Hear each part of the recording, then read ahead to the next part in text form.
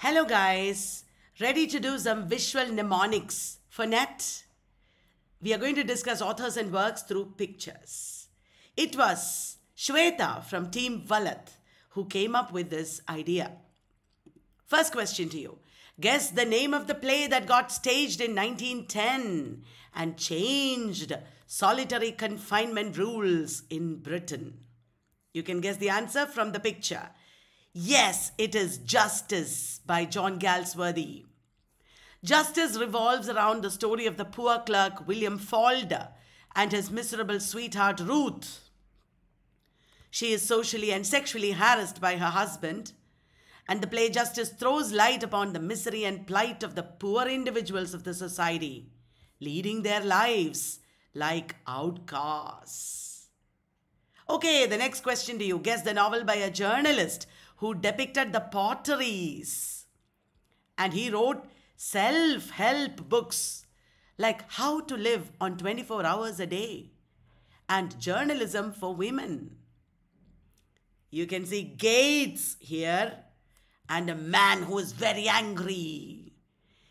You know it. It is The Gates of Wrath by Arnold Bennett. He depicted the potteries or five towns. The Gates of Wrath is a thriller novel subtitled A Melodrama. Guess the name of the verse play that shows fissures in upper class life, written by a modernist poet. You see a lot of people holding cocktails.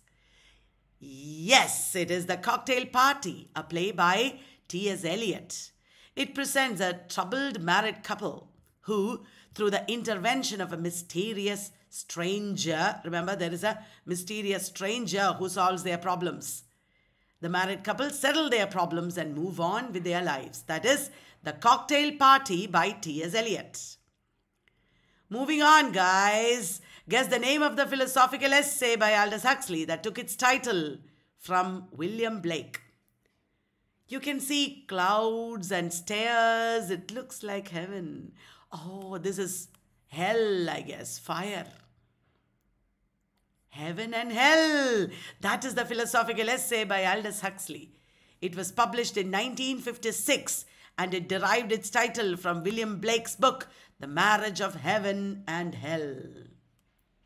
The essay by Huxley discusses the relationship between bright, colorful objects, geometric designs, art, and experience. Okay, guess the name of the debut play by J.B. Priestley. What is this? A bus. Oh my God, it's a dangerous turn that the bus is taking. Turn. Do you think the title is Turn? No, the title of the debut play by Priestley is Dangerous Corner. Robert and Freda Caplan are entertaining guests at their country retreat. That is the story of Dangerous Corner by J.B. Priestley. Dangerous Corner. Guess the name of the all women cast play that embraced post feminism. It engaged directly with Thatcherism and brought on stage historical women. Brought on stage historical women from the classics. What is this? These are all women who won prizes. What could be that? It is Top Girls, a play by Caryl Churchill. It depicts the life of Marlene, a successful career woman who has just received a major promotion. And she has unequivocally fought her way to the top. The play explores the realities of being female and the potential prize of achieving success.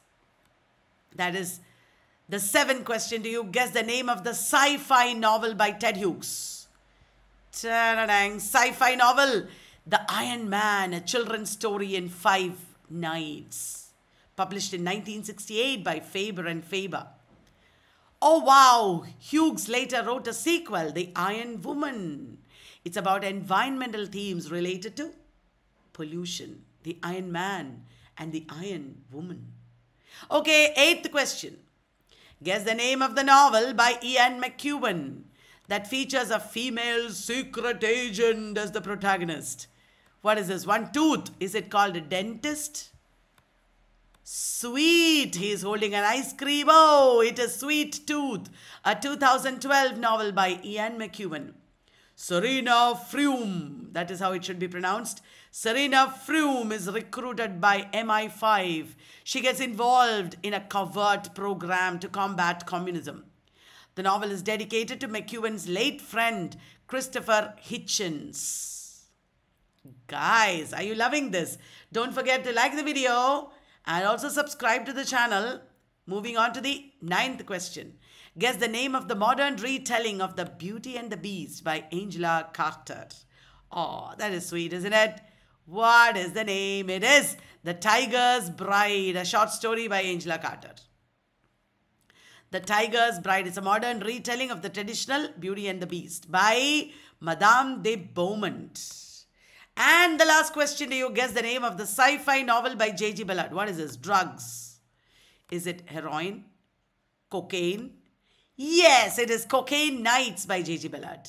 Did you know that J.G. Ballard wrote Cocaine Nights? He wrote Drowned World, Burning World, Crystal World, Empire of the Sun, Cocaine Nights deals with the idea of dystopian resort communities.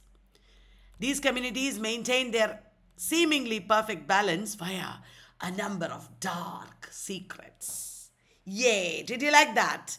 These are visual mnemonics brought to you by Vallath and Shweta and Kalyani Vallath. Thank you guys. Bye bye.